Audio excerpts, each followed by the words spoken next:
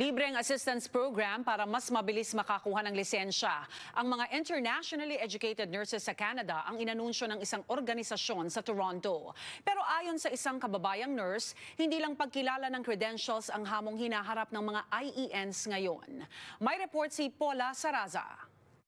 Maraming mga IENs dito sa, sa Canada, especially to Toronto, nawawala na ng pag-asa. So in maging, magiging uh, malaking source ito ng inspirasyon at motivation para sa kanila to pursue their Canadian RN dream. Welcome news para sa mga internationally educated nurses ang anunsyong mas simpleng paraan para makakuha sila ng lisensya at makabalik sa propesyon. Ito ang layon sa inilunsad na International Licensing Assistance Pathway o INLAP ng Progress Career Planning Institute Biyernes. These people have already qualified. They've already passed courses, whether it's university courses or college courses or whatever the licensing regime is from where they come. Um, so all you're doing is Canadianizing them. They struggle with maneuvering the system here. It's very, it's like a puzzle.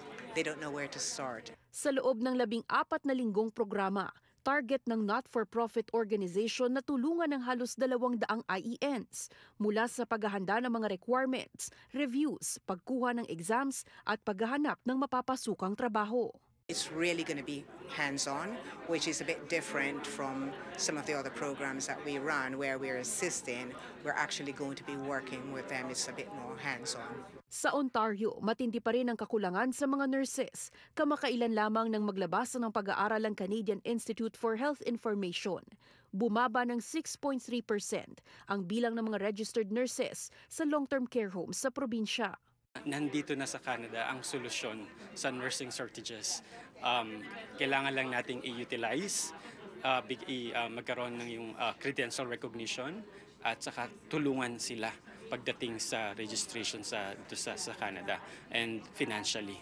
Inaabot ng isang taon o higit pa bago makakuha ng lisensya ang mga internationally educated nurses. Pero isa lamang daw ang mabagal na pagproseso ng credentials sa mga hamong hinaharap ng IENs maraming pathway para makapasok sa Canada. Isa ni dito is yung student international student pathway or program.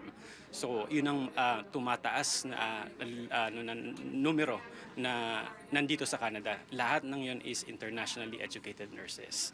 So, yun na, na isa sa mga issue na ready silang makapag-register but nagkakaroon ng problema. They are restricted to work because of their immigration status. Kabilang ang pagsubok sa immigration ng ilang mga IEN sa patuloy na inilalapit ng IFCNA sa mga provincial leaders.